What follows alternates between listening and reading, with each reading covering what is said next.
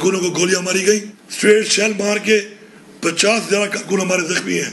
Shell पे shell ये मारते रहे, गोलियाँ बरसाते रहे। कई पुलिस वाले आज हमारे हत्थे चढ़े, हम पे जुल्म करने के बाद, और मैंने उनको रेस्क्यू किया, क्योंकि मुझे और हमारे लोगों को उनकी फैमिली से ख्याल था। अवाम को फैसले अवाम में करने दे। सियासी फैसले सियासी फकरों को करने दे। वज़ीर अला खैबर पख्तूनख्वा यमीन गंडापुर का इनकलाब लाने का ऐलान अपने वीडियो पैगाम में कहा, अगर कोई समझता है हमें मारेगा तो वो मरने के लिए तैयार है। इनकलाब के बगैर हमारे पास कोई हल नहीं। आखिरी वार्निंग है, तमाम इदारों को पैगाम है कि सियासी फैसले सियासी लोगों को करने दें। गुजशत रोज हम पर शेलिंग और गोलियाँ बरसाई गईं।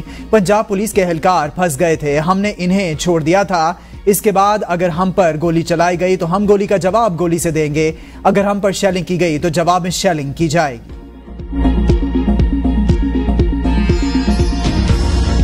इस वक्त खैबर पख्तूनख्वा दोबारा बदमनी की नज़र होगी।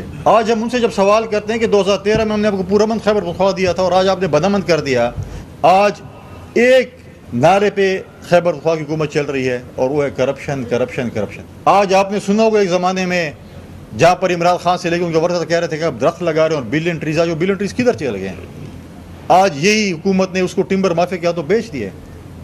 गंदम की बात आती है तो ये इसमें है। अगर अस्पतालों की बात आती है, उसके करप्शन में ये मुलविस होते हैं। वज़ीर अला खैबर पख्तनख्वा जल्द से जुलूस और नाच गाने से फारिग हों तो अमन अमान पर तवज्जो दें। गवर्नर खैबर पख्तनख्वा फैसल करीम खुंडी की फिर तनकीद। मुल्तान में मीडिया से गुफ्तु में कहा, सूबे में अमन अमान की सूरत हाल इंतहाई खराब, हुकूमत रेट न होने के बराबर। बताया जाए, सूबे में बदमनी किसने फैलाई? खैबर पख्तनख्वा की हुकूमत एक नारे पर चल रही है, वो है करप्शन करप्शन। ये कहते हैं कि हम पर करप्शन के इल्ज़ाम लगाते हैं। ये अस्पतालों और गंदम की करप्शन में मुलवस है। हमने दोस्तों के साथ मिलकर अमन का सफ़र शुरू किया। खैबर पख्तनख्वा के अमन के लिए हमारे बच्चों ने एपीएस में शहादतें दी। बलोचिस्तान के इलाके मूसा खेल में भी मुसल्ला अफराद की निजी तमीराती कंपनी के मजदूरों पर फायरिंग। आठ बुलडोजर नज़र आतिश। मुसल्ला अफराद ने बीस से जायद मजदूरों को अगवा कर लिया। सिक्योरिटी फोर्सेज ने इलाके की नाकाबंदी कर दी।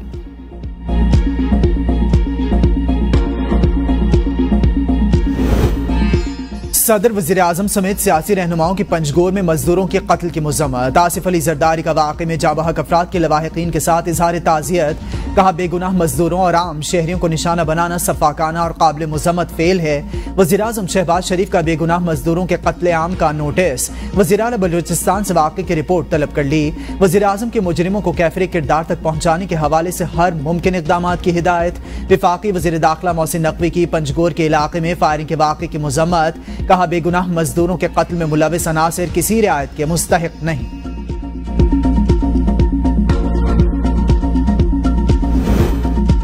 दहशतगर्द बुजिल और इंसानियत से बेबहरा हैं। वो कब तक बिलों में छुपेंगे? चुन चुन कर बेगुना पाकिस्तानियों के कत्ल का हिसाब लेंगे। वज़ीर अला बलोचिस्तान, सरफराज बुख्ती की मजदूरों के बेहमाना कत्ल की शदीद अल्फाज में मुजम्मत।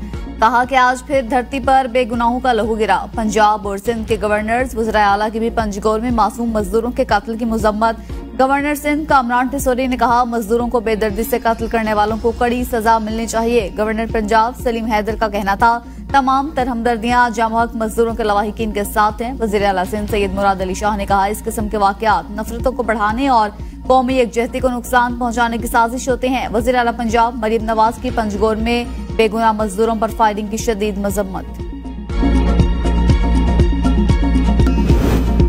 पीटीआई का लियाकत बाग में एहतजाज। अलियमीन गंडापुर का चेयरमैन पीटीआई बैरिस्टर गौहर से बात करने के बाद एहतजाज खत्म करने का ऐलान। कहा, बैरिस्टर गौहर ने वक्त खत्म होने का कहा, इदारों के साथ टकराव नहीं चाहते। एहतजाज रिकॉर्ड करा दिया, दोबारा आएँगे और सीधा अडियाला जेल जाएँगे। बेचारे फिसाद ग्रुप वालों के साथ तो मोए मोए हो गया। अली अमीन गंडापुर फिर पंजाब में दाखिल हुए बगैर सर पटक पटक के वापस लौट गए। असमा बुखारी कहती हैं, ये कमाल है, सीएम पंजाब का। पंजाब में गुंडागर्दी नहीं, कानून की हुक्मरानी चलेगी। वज़ीर पंजाब को अपनी हुकूमत के रिट मनवानी आती है।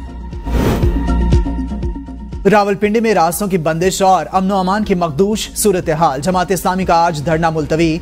सेक्रेटरी इतलात मलिक मोहम्मद आज़म की तस्दीक, कहा कि अब अगले जुमे को धरना होगा।